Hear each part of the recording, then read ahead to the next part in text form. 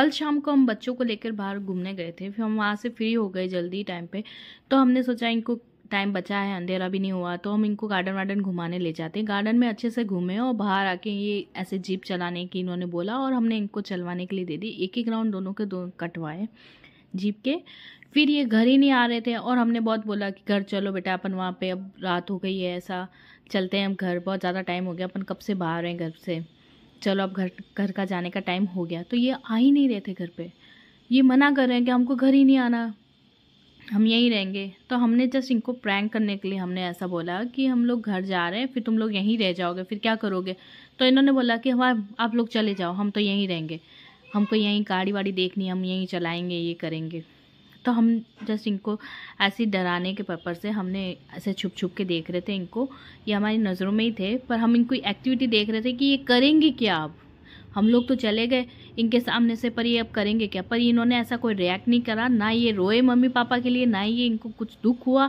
इनको कुछ नहीं, ये मम्मी को पहचान ही नहीं रहे थे। मैं इनके सामने से वीडियो बना रही हुई, इन्होंने आंटी ने पूछा, बच्चों ने पूछा कि बेटा ये आपकी मम्मी है तो वो विवान पलट गया। नहीं मैं मम्मी को नहीं जानता। अब मेरे को इसने बोला हाँ ये वाली मम्मी है। और इन बच्चों ने अपने पास बिठाया और इनको कहा कि, कहाँ गए तुम्हारे मम्मी पापा? तो ये बोले, हमको छोड़ के घर चले गए। ऐसा बोल दिया इन्होंने।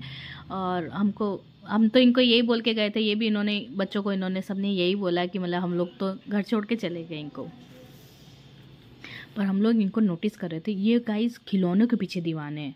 ये खिलौनों के लिए मतलब इन्होंने कोई खुशी ही नहीं करी कि हम वापस आ गए हैं इनको लेने और हम इनको खींच रहे हैं, ले जा रहे हैं कि चलो घर, नहीं ये चल ही नहीं रहे, खड़े ही नहीं हो रहे। फिर हमने सोचा कि अब हमको यहाँ से इनको बलून वलून दिला दिला देते हैं या इनको कुछ ऐसा कर लेते हैं, फिर ये घर चल लेंगे। तो विवान तो चलो एग्री हो गया कि एक बलून लेके खड़ा भी हो गया, बाहर आ गया। और वो आरव कह रहा था कि नहीं, मेरे को और भी खिलौने चाहिए कि हम यही रह लेंगे यूँ करके।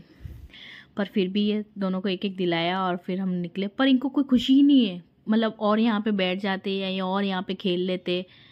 मतलब ऐसे बच्चे होते हैं गाइस पता नहीं कैसे है। मतलब देखो कितना सैड सा घर आ रहा है कि मेरे को वहीं रहना है मतलब। गाइज़ आप भी अपने बच्चों को एक बार चेक ज़रूर कर लिएगा, पर अपने नज़रों में रखिएगा। Thanks for watching bye guys